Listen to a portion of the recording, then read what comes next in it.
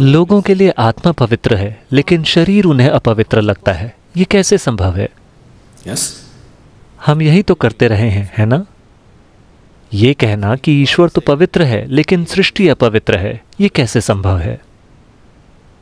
ईश्वर का विचार ही आपके मन में इसलिए आया क्योंकि आपने सृष्टि को देखा है ना? जब आपका जन्म हुआ और आपने आँखें खोली आपने अपने आसपास देखा वहाँ इतनी विशाल सृष्टि थी। आपके यहाँ आने से पहले कितना कुछ हो चुका था। बेशक, आपने तो ये सब नहीं रचा।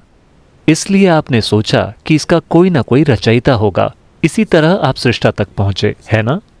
जिस पल आपने सोचा कि इसका कोई सृष्टा होगा, चूँकि आप एक इंसान हैं, इसलिए आपने सोचा कि वो एक बहुत बड़ा इंसान होगा। मेरे जैसा छोटा आदमी तो ये सब नहीं कर सकता। निश्चित रूप से वो एक बहुत बड़ा इंसान होगा। सिर्फ़ दो हाथों से वो इतनी रचना कैसे कर सकता है निश्चित रूप से उसके आठ हाथ होंगे?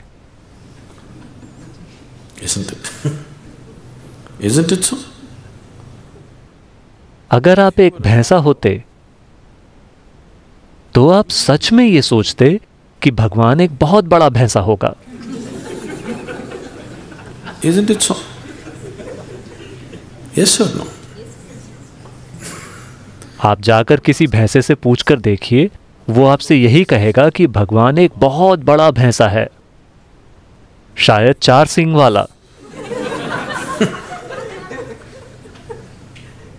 You know Idi Amin? आपने ईदी अमीन के बारे में सुना है युगांडा वाला? ईदी अमीन ने ऐलान किया कि भगवान काले हैं। मैं उससे सहमत हूँ। अगर गोरों के भगवान गोरे हो सकते हैं तो कालों के भगवान काले क्यों नहीं हो सकते? पर वे दोनों ही भ्रम में हैं। हम जानते हैं कि भगवान सांवले हैं।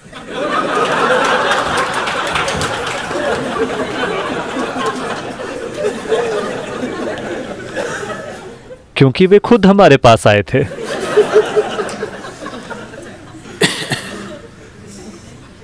कुछ समय पहले मैं अमेरिका के नेशविल शहर में लोगों के एक समूह से बात कर रहा था। और मैं उन्हें एक चुटकुला सुना रहा था। उस चुटकुले में मैंने भगवान को एक पुरुष की तरह संबोधित किया। तुरंत ही कुछ महिलाएँ खड़ी हो गईं। क्या आप भगवान को पुरुष मानते हैं? मैं समझ गया कि बात कहाँ जा रही है। मैंने कहा, मैं केवल आपको एक चुटकुला सुना रहा हूँ। नहीं, आपने पुरुष का संबोधन किया। क्या आप भगवान को पुरुष मानते हैं? वे चुटकुलों को बहुत गंभीरता से लेते हैं। अब औरतें बहस कर रही हैं कि भगवान एक औरत भी हो सकते हैं। ऐसी समस्याएँ केवल उन संस्कृतियों में ही हैं। भारत में हमारे पास पुरुष भगवान, स्त्री भगवान, गाय भगवान, बंदर भगवान और हर आकार व प्रकार के भगवान पाए जाते हैं। रेंगने वाले, चलने वाले, उड़ने वाले, क्योंकि हमें भविष्य में आने वाली सभी समस्याओं का अंदाज़ा था।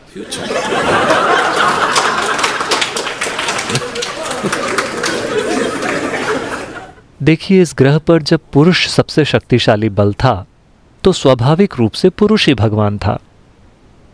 अब महिलाएँ भी ताकतवर होने लगी हैं। तो वे भी सवाल करने लगी हैं कि भगवान एक औरत क्यों नहीं हो सकते? मान लें, कल अगर कुत्तों को बहुत सारी ताकत मिल जाए जो उन्हें मिल ही रही है तो कुत्ते भी पूछेंगे कि भगवान एक कुत्ता क्यों नहीं हो सकता? डॉग और गॉड की स्पेलिंग भी एक सी ही है।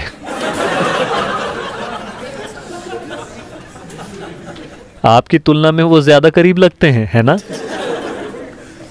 भगवान के बारे में जो आपका विचार है वो केवल खुद का ही एक बढ़ा चढ़ाकर बनाया गया संस्करण है है ना? भगवान के बारे में आपकी सोच केवल खुद को बढ़ा चढ़ाकर बनाई गई है। देखिए, अभी तक आप अपने आप को ही परिभाषित नहीं कर सके हैं, है ना? आप अपनी जो भी परिभाषा देंगे, वो सही नहीं होगी। किसी भी प्रकार की परिभाषा काफ़ी नहीं है पूरी तरह से इस जीव का वर्णन करने के लिए। जब सृष्टि का ये छोटा सा टुकड़ा ऐसा है तो सृष्टि के स्रोत को आप कैसे परिभाषित कर सकते हैं. आप इसे न तो परिभाषित कर सकते हैं ना ही इसे समझ सकते हैं। आप केवल इसमें विलीन हो सकते हैं। आप इसका अनुभव कर सकते हैं। आप इसे कभी जान नहीं सकते। आप इसे ज्ञान नहीं बना सकते। Whatever you know, आपको ईश्वर के बारे में जो भी ज्ञान है वो पूरी तरह बकवास है सांस्कृतिक बकवास।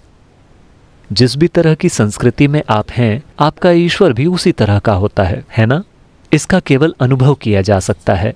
अनुभव का अर्थ ये नहीं है कि आप इसे खा सकते हैं, या आप इसे समझ सकते हैं नहीं, आप बस इसमें विलीन होकर ही इसे अनुभव कर सकते हैं, और कोई तरीका नहीं है इसलिए हम केवल विलीन होने के उपाय तलाश रहे हैं, ताकि हम उसे अनुभव कर सकें, जो हमसे कहीं ज़्यादा विशाल है.